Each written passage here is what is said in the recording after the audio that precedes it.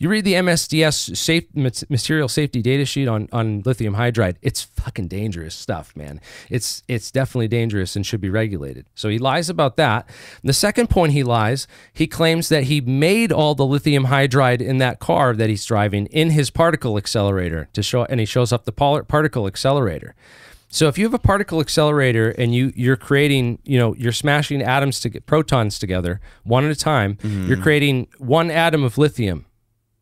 You need 10 to the 23 to have a mole, um, Avogadro's number, to have a, a usable amount of this uh, of to create a, a usable amount of lithium in a particle accelerator, you would need 10 to the 23 reactions. Mm. So if you had one reaction every millisecond, right, it would still take you forty thousand some years to, to produce even just a, a, gram of lithium